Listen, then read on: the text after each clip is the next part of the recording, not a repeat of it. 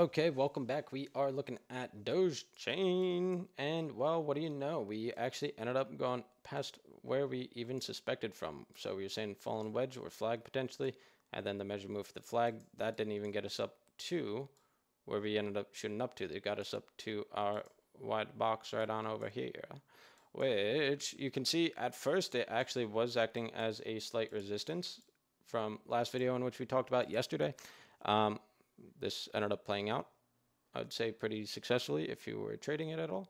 But um, you can see at first it was acting as a pretty decent resistance area. And then we ended up breaking through it, which we are on the 45 minute time frame, by the way. And then now you can see that we did end up come back down into it, at least as of right now. So I would say you actually do potentially stand a chance of pushing on back up and turning it into a support. However, if we were to keep in mind what happened over here, what we could see end up happening is that X is like a short-term um, support, and then we ultimately end up breaking through it just to come back down. If we were to come back down, where would we be necessarily looking for? I would say really one of two areas, which are relatively close to each other, but one of them being, which by the way, we can get rid of this stuff one of them being just pretty much these prior highs right here. Nothing too crazy. So that is at about three zeros, 57.5. And then the other area would be actually the this prior like range area on over here. So if I can zoom out a bit just to bring it on over, which this is at about 59 or three zeros, 597. So right here, oh, oopsies. I gotta get used to this new mouse. The scroll wheel is uh, inverted compared to my last one. So now that we see this, on why did I have to be a jerk off? Bring it so far away. There we are. So that being said, that's what we'd be looking for for downside to play out. I'd be looking for around three zeros five nine seven, and then I'd be looking for around three zeros five seven five. Um, if we don't break through here.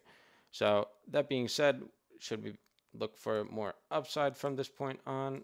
Oh, why of course. Let's go into the four hour time frame and see what we can see here.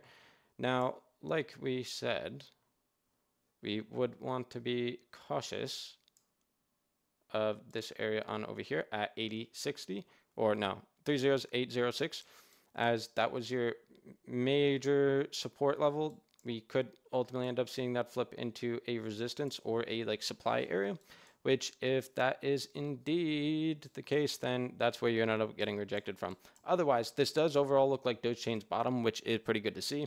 So that being said you could ultimately end up getting up to it potentially getting smacked down and then make higher low and then continue pushing higher is always in the cards but um, at least for right now we have nothing necessarily to say that will 100 bean percent happen. And then finally, the last thing that I do want to mention right now is that you can see that this downtrend right here, we actually did end up breaking out of it. You can see we clearly are. If I can get it right. It looks about right. Just like it did. Um, oh no. One second, I'm messing this up completely. All right, there you go. You can see that we did end up breaking through it. So ultimately, not too bad. Uh, right now, I'd say potentially look for downside or be prepared for downside, but overall still look for upside at least up to 80. So other than that, let me know what you guys think in the comment section below. None of this is financial advice. These are all just my thoughts and opinions, and you guys have a phenomenal day as always. Adios, muchachos.